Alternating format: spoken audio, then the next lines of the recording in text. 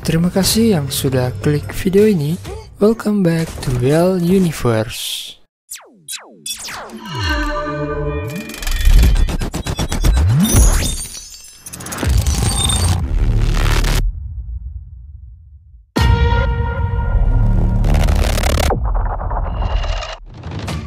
Film diawali dengan Sean, seorang ayah yang sangat khawatir karena putrinya telah hilang selama tiga hari. Dia pun berada di Meksiko mencari tempat di mana mobil-mobil tua ditinggalkan. Dia mendapat petunjuk bahwa mobil putrinya mungkin ada di sana. Setelah memeriksa banyak mobil, ia menemukan mobil putrinya dalam kondisi baik-baik saja. Namun, tidak ada apa-apa di dalam mobil itu kecuali kacamata temannya.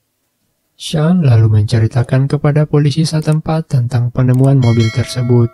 Namun saat kembali ke lokasi, mobil tersebut telah hilang. Seorang petugas polisi bernama Hector Montoya mulai mempertanyakan cerita Sean. Ia mengira dia mungkin membuat lelucon. Kemudian Hector menyuruh Sean untuk pergi karena dia memasuki tempat itu tanpa izin, yang bisa membuat Sean mendapat masalah. Sean tinggal di sebuah peternakan dekat perbatasan di Texas. Sesampainya di rumah, putri tertuanya marah kepadanya, menyalahkan dia karena tidak melindungi keluarganya. Istri Sean, Susan, berusaha menghiburnya, namun dia tetap khawatir dengan putri mereka yang telah hilang. Dia menceritakan kecurigaannya terhadap petugas polisi kepada Susan dan memutuskan untuk melaporkan masalah tersebut ke konsulat. Keesokan paginya, sebelum menuju ke konsulat, ia menerima kunjungan dari Max, seorang teman lama, waktu ia masih di militer dulu. Selama percakapan mereka terungkap bahwa Sean adalah mantan kolonel yang terlibat dalam unit pasukan khusus yang bertanggung jawab atas misi ekstrim seperti eksekusi, pembantaian, dan pemberantasan penjahat. Mark sebenarnya datang untuk menawarkan bantuannya dalam mencari putri Sean yang hilang, mengungkapkan simpati yang tulus terhadap keluarga Sean. Meskipun menghargai perhatian Max, Sean yang menyadari metode brutal Max di masa lalu militer mereka, ia pun memutuskan untuk tidak melibatkannya dalam pencarian putrinya. Karena Sean mengetahui reputasinya yang terkenal buruk, Sean menolak tawaran tersebut dan memutuskan untuk menangani situasinya sendiri. Akhirnya, Sean telah tiba di kantor konsulat. Sean didampingi ayah dari teman putrinya. Terungkap bahwa putri Sean tidak hilang sendirian. Dia bersama teman-temannya. Sean menceritakan kejadian tersebut mengungkapkan kecurigaannya terhadap dua polisi Meksiko yang terlibat dalam penculikan itu. Sebagai konsul yang mewakili negaranya di Meksiko, Sean sangat paham dengan situasinya saat ini khususnya mengenai kartel atau sindikat yang dipimpin oleh mantan tentara bayaran bernama Victor Gara. Plotnya semakin kental saat Sean menggali lebih dalam kompleksitas seputar anaknya yang telah hilang. Victor Gara telah menjadi pemimpin kartel yang paling ditakuti dan dihormati di seluruh Meksiko. Konsul yang sangat prihatin mengungkapkan kemungkinan anak Sean telah diculik oleh anak buah Victor. Menghadapi skenario yang suram ini, konsul menasihati Sean untuk menerima keadaan tersebut dan melepaskan kasus tersebut jika dia menginginkan kehidupan yang damai. Namun, kegelisahan konsul hanya menambah rasa ingin tahunya tentang seberapa besar bahaya yang dihadapi Victor. Konsul menguraikan beberapa kejahatan keji yang dilakukan Victor termasuk pembunuhan seorang kepala polisi yang jujur, hilangnya 400 warga Meksiko dan berbagai kejahatan lainnya. Semua kejahatan itu diyakini dilakukan oleh pasukan Victor yang sebagian besar adalah mantan tentara bayaran. Kasus penculikan itu pun masuk dalam berita. Kasus ini dengan cepat menjadi berita utama, dengan putri seorang mantan kolonel yang hilang di perbatasan. Sean dan istrinya menjadi sorotan. Mereka pun diwawancarai oleh media setempat. Sementara istrinya hanya bisa menangis, Sean mengungkapkan tekadnya yang teguh, meyakinkan anaknya untuk bersabar dan menunggu sambil bersumpah akan segera menemukannya dengan cara apa pun. Taruhannya sangatlah besar ketika Sean menyelidiki jaringan kejahatan berbahaya yang dipimpin oleh Victor Gara Sementara itu, dalam bayang-bayangan, Victor mendengarkan berita tersebut dan menemukan bahwa salah satu gadis yang diserahkan kepadanya adalah putri mantan kolonel Amerika Serikat. Victor akhirnya sadar hal ini berpotensi mengganggu hubungan bisnisnya dengan beberapa rekannya di Amerika, terutama jika Sean ingin meningkatkan kasusnya lebih jauh. Khawatir dengan konsekuensinya, Victor segera mengambil tindakan dia segera menangkap dua polisi yang bertanggung jawab atas penculikan Putri Sean. Hal ini dilakukannya untuk meminta pertanggungjawaban mereka atas kesalahan yang dapat membahayakan urusannya. Terungkap bahwa petugas yang bertemu Sean sehari sebelumnya adalah Hector dan komplotannya adalah orang-orang di balik penculikan yang salah tersebut. Victor yang kesal akhirnya mencaci maki kedua petugas tersebut karena salah mengantarkan gadis itu dan mengakui beratnya kesalahan yang dapat menyebabkan masalah yang amat besar. Tanpa banyak basa-basi, rekannya segera mengeksekusi salah satu petugas itu.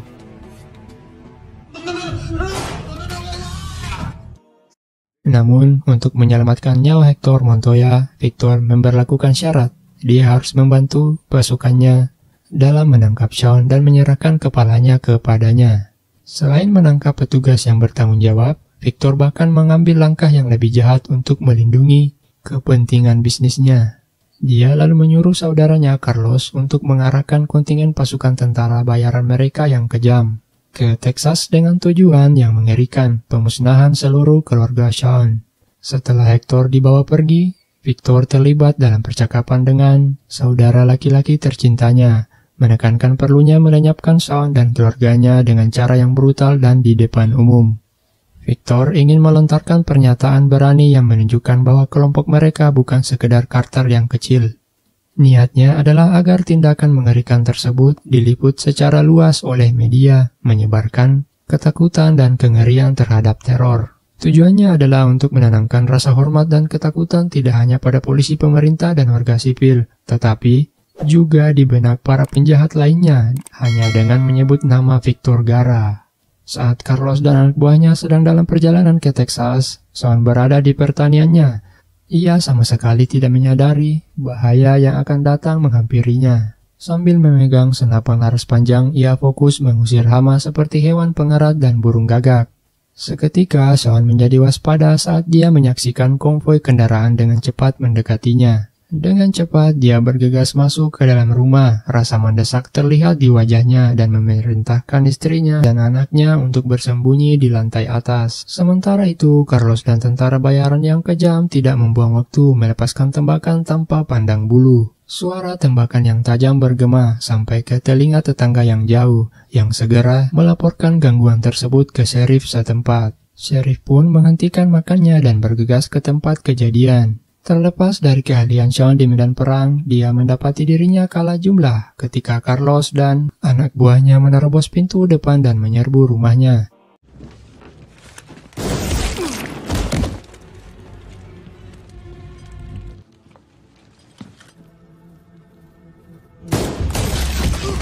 Menyadari bahwa rumahnya telah dibobol, Sean secara strategis memecahkan piring dan gelas, lalu menciptakan sistem alarm darurat untuk mendeteksi pergerakan para penyusup.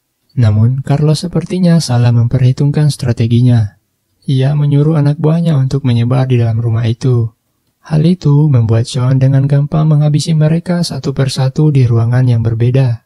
Namun tampaknya Carlos lebih memilih metode yang lebih menantang daripada metode yang efisien. Setidaknya dari sudut pandang Sean. Setelah pindah ke atas, Sean memerintahkan istri dan anaknya untuk melarikan diri melalui jendela. Sementara dia tetap berada pada posisi strategis di dalam ruangan. Carlos dengan tindakan memaksa Hector untuk menaiki tangga sendirian. Lagi-lagi tanpa disadari hal ini terjadi di tangan Sean. Kemungkinan dia dengan mudah untuk menangkap Hector. Sementara itu, dengan keterampilan dan tekad, Sean berhasil membimbing keluarganya keluar rumah tepat saat Sheriff tiba untuk menyelidiki situasi yang semakin buruk. Sheriff yang tiba di tempat itu kaget dia menemukan mayat tanpa kepala di salah satu kendaraan. Hal itu memicu baku tembak sangat sengit antara dia dan pasukan Carlos yang muncul dari rumah Sean.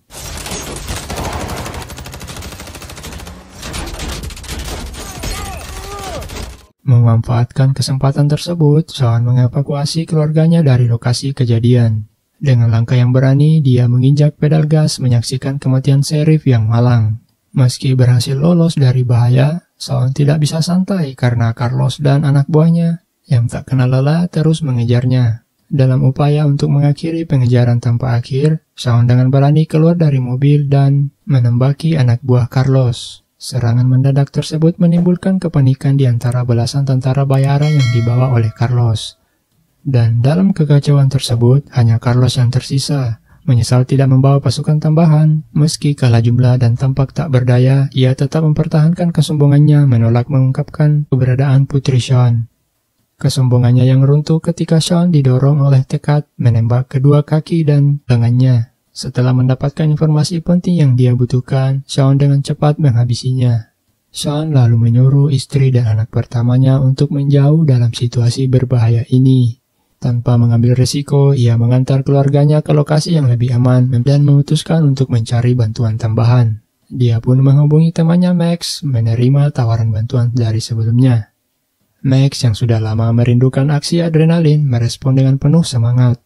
Menunjukkan antusiasmenya tiba dengan peralatan khusus yang disimpan di bagasi mobilnya. Sementara itu, Victor merasa tidak nyaman karena tidak dapat menghubungi saudara tercintanya. Dia sadar akan pembalasan Sean dan Max yang akan datang tanpa ampun. Saat mereka mendekati kediaman Victor, suasana menjadi penuh dengan antisipasi. Pertarungan sengit ala militer pun terjadi di dalam rumah itu.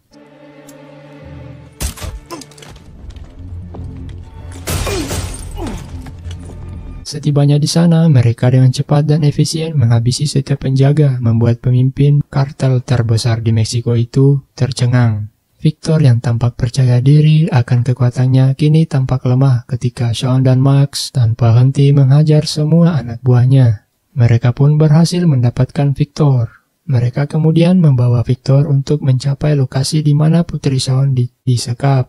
Para penjaga yang lemah yang hadir bukanlah tandingan duo yang gigih itu. Akhirnya mereka berhasil menemukan putrinya dan temannya.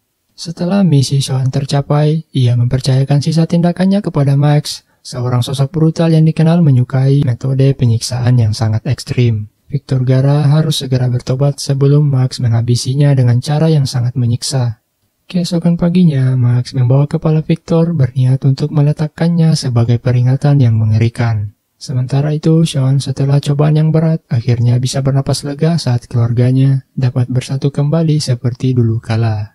Ancaman telah hilang dan mereka kini dapat menantikan kehidupan tanpa bayang-bayang. Dan film pun berakhir. Terima kasih telah menonton. Jika kalian suka video ini, silakan di like, di subscribe, dan sebarkan ke teman-teman kalian ya. Saya pamit undur diri. See you next time and bye-bye.